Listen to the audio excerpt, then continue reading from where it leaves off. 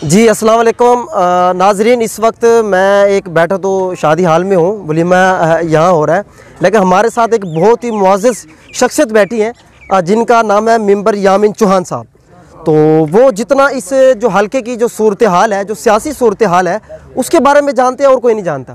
तो अब हम इनसे डिस्कस करेंगे कि हमारा जो हल्का है, एन ए और पी पी दो सौ चौबीस, उस बारे में जो जो सियासी सूरत हाल है जो पोजीशन है जो सियासी हालात हैं सूरत हाल है उसके बारे में गुफ्तु करेंगे। हमारे साथ मौजूद है मेंबर यामीन चौहान साहब। जी अस्सलाम वालेकुम। वालेकुम अस्सलाम क्या हाल है सर? ठीक ठाक है?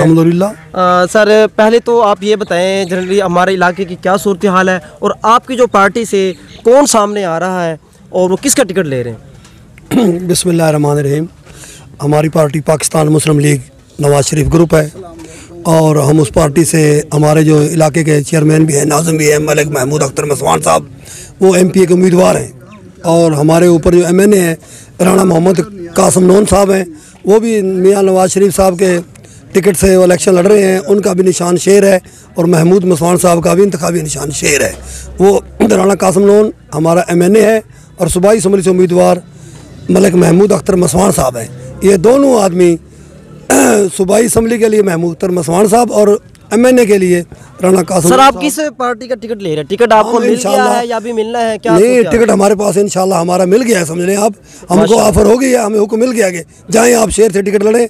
मियाँ नवाज़ शरीफ और हमारे जो बोर्ड के मेम्बरान ने हमें इजाज़त दे दी है जो हल्के में कंपेन करें हमारी तरफ़ से आप टिकट होल्डर हैं। अच्छा। तो माशाल्लाह आप ये बताएँ सर इस वक्त जो आपने माशाल्लाह कोल्ला चाकर में आप लोगों ने आ, गैस भी लगवाई है सड़कें भी बनवाई हैं जो आपने जो आपने जो कारनामे जो आपने किए हैं वो सर आप खुद बताएँ अपने अपने हल्के में हमारे एक जो हमारे एक तकलीफ़ थी सड़क की कोडला चाकर मोड़ से लेकर दरिया सतलुज और बस्ती मोथा तक जो कारपेट रोड है वो हमने इंशाल्लाह हमारी यूनियन काउंसिल के मेम्बरान चेयरमैन और इलाके के साथ मिलकर हमने ये रोड तमीर करवाया है।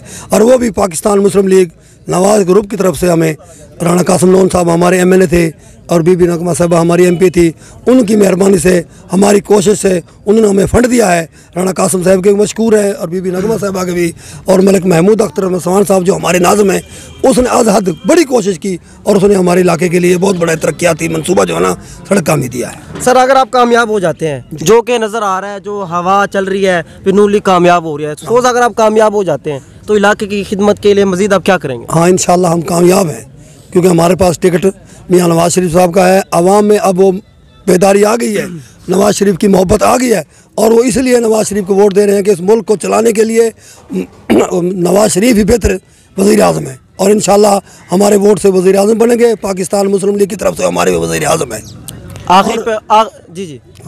आखिरी पैगाम क्या देना चाहेंगे अपने हल्के के हम हल्के से कहना चाहते हैं और मैं मुबारकबाद देना चाहता हूँ इस हल्के दो सौ चौबीस के अवाम को और ख़ासकर कोटला चाकर यूनियन काउंसिल की अवाम को कि जिनके घर से कैंडिडेट अब पैदा हुए हैं। और इन वो इलेक्शन लड़ रहे हैं। वो मलिक महमूद अख्तर मसवान साहब हैं और मैं इन तमाम दोस्तों से, तमाम बुज़ुर्गों से, तमाम भाइयों से, जिनकी उम्र अठारह साल है, पचहत्तर साल है, अस्सी साल है, जो भी हैं हमारे दोस्त, पाकिस्तान मुस्लिम लीग को वोट दें, मियाँ नवाज़ शरीफ को वोट दें राना कासम नोन साहब को और महमूद अख्तर मसवान जो हमारे सूबाई कैंडिडेट हैं और कोटला चाकर से ये कैंडिडेट हैं। इनको मुबारक हो और तमाम छोटे बड़े तमाम के तमाम लोगों से मेरी गुजारिश है कि हमारा साथ दें, मुस्लिम लीग का साथ दें, मलिक महमूद अख्तर के हाथ मज़बूत करें और इन हम कामयाब होंगे और हम कामयाब हैं अल्लाह को। जी, बिल्कुल इस वक्त जो है ना, हम मौजूद थे मेंबर यामिन जो चौहान साहब है। आपने उनकी सारी बातें गुफ्तु सुनी। तो ये बता रहे थे कि हमारे जो हल्के से जो एम पी ए के उम्मीदवार हैं मलक महमूद अख्तर मसवान साहब, जो कि हमारे इलाके कोल्ला चाकर से हैं तो उन्होंने अपना पैगाम पहुँचाया है।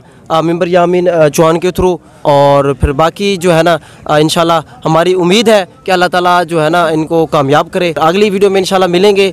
फिर मज़ीद जो है ना, मलिक साहब का इंटरव्यू भी लेंगे। मलक महमूद जो हमारे अख्तर मसवान साहब हैं, जो एम पी ए के उम्मीदवार हैं, उनसे भी इंटरव्यू लेंगे और इन आपको दिखाएँगे कि वो इस बारे क्या फरमाते हैं।